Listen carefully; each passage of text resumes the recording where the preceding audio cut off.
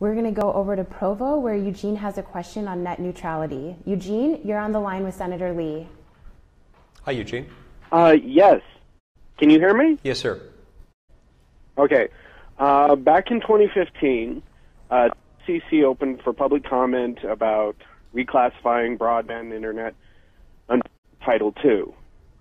Uh, the the response was overwhelming to move broadband internet connectivity to Title II.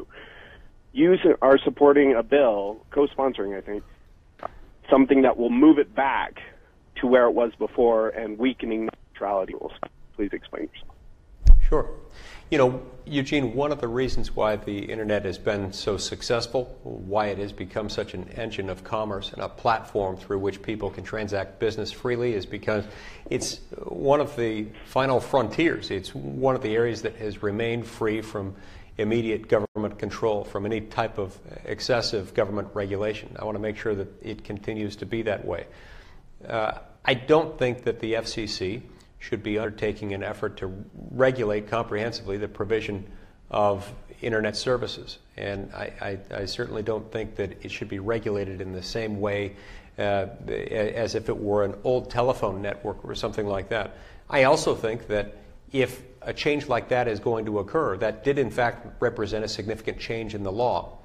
And if that kind of change is going to be made, it needs to be made by Congress. This is the biggest single push behind the legislation you reference. I, I think that decision needs to be made by Congress and not by unelected, unaccountable bureaucrats within the FCC the, who make the a decision, decision like was made already, and it has broad public support. Why go around the public? Uh, Eugene, I understand that you support it, sir. The fact that you support it doesn't mean that everyone supports it, nor does it mean that it's necessarily good public policy. I, I have grave concerns with getting the FCC involved in the regulation of the internet and deciding exactly how internet services have to be provided.